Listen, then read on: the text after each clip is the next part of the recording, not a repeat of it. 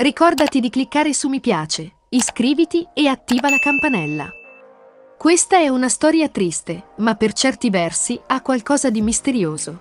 La stessa Lorena Bianchetti non sa ancora spiegarsi come sia potuta andare così.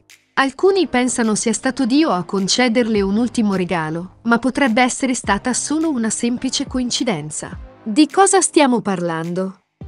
Nel 2015 ha deciso di convolare a nozze con il compagno e attuale marito Bernardo De Luca. Una decisione presa solo tre mesi dopo la loro conoscenza. L'uomo è un ristoratore e chef. Dalla loro unione è nata una bambina, Estelle, arrivata quattro anni dopo il matrimonio nel 2019.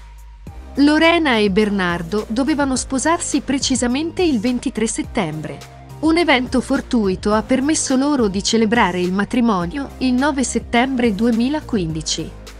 In questo modo la giornalista è stata accompagnata dal padre all'altare.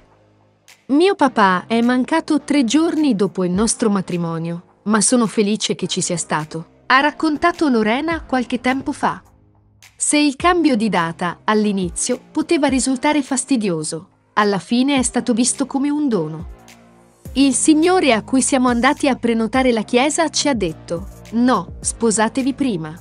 Una coincidenza che ha permesso al padre della conduttrice di esserci e godersi il giorno.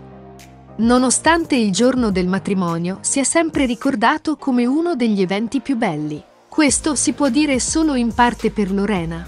Per la conduttrice, infatti, quel giorno rimane un ricordo in parte doloroso.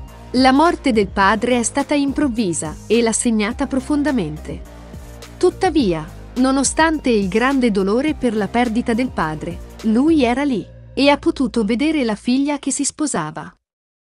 Secondo voi è stata solo una coincidenza? Oppure un dono di Dio? Cosa ne pensate? Ricordatevi di lasciare un pollice in su, per noi è importante, grazie. Per restare aggiornato, iscriviti al canale e attiva la campanella.